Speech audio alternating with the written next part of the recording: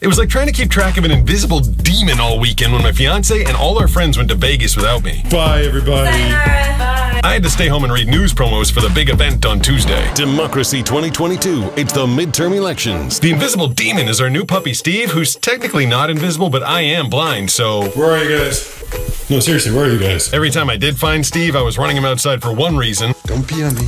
Don't pee on me. or another reason. Don't poop on me. Don't poop on me. And watching a puppy is difficult when you can't see. I had to listen. Oh, I hear it. I hear pee.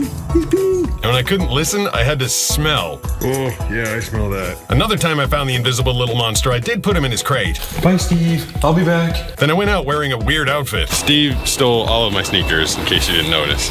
I can't find any of them. Also, I could get a little time on my surfboard. And I got home just in time to point my camera at what sounded like the Battle of the Couch, which I'm pretty sure Steve's nine pound sister won, because I found him on the floor afterwards.